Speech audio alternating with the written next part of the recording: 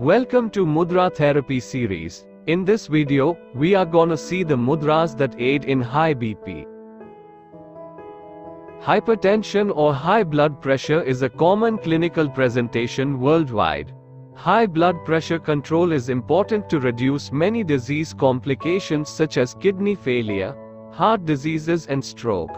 Apart from medications, Yoga Hand Mudra is an effective supplement to medical healing clinical conditions like blood pressure, asthma, stress, obesity and heart diseases.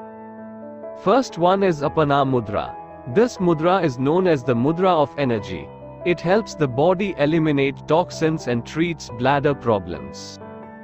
With both hands, join the yokes of the thumb, the ring finger and the middle finger, while the other fingers remain extended. Practice as needed, from 5 to 45 minutes, or as a cure 3 times a day for 15 minutes. Benefits Reduces heart problems and normalizes palpitations. It is used as first aid for a heart attack when it is done in the first couple of minutes. Maintains blood pressure, reduces stomach problems and reduces acidity. Surya Mudra or Mudra of the Sun. The tip of the ring finger touches the base of the thumb, which applies slight pressure to the ring finger.